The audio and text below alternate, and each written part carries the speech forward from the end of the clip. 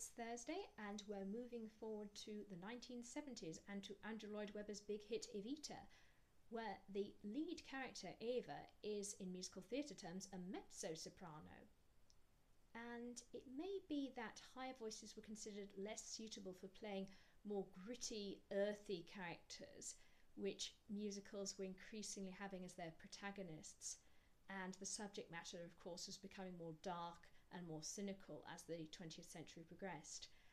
The soprano character in Evita is the nameless mistress who only has one number, and she has been cast out by Juan Perón to be replaced by Eva. And she's very much an every woman. She isn't glamorous, she's not rich, she's not romantic. She just represents all those women that didn't make it, didn't get the lucky break, and singing about what it is to be a normal person. So that's an interesting departure for the soprano character. So here is the mistress's another suitcase in another hall.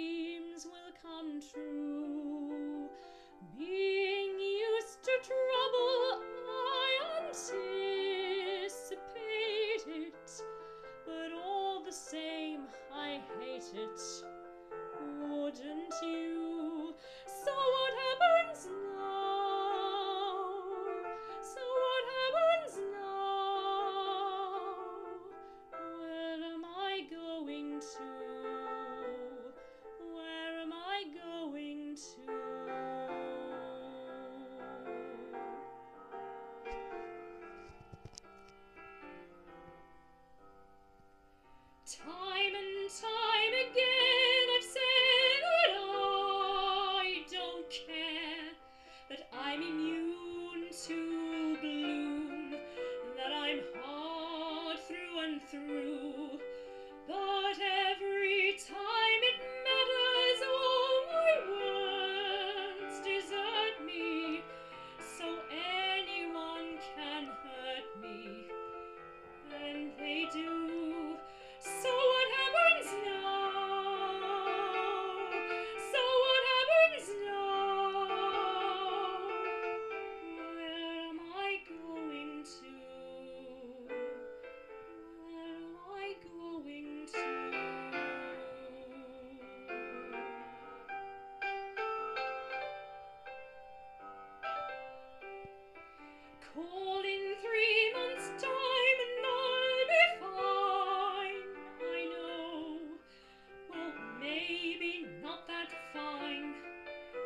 but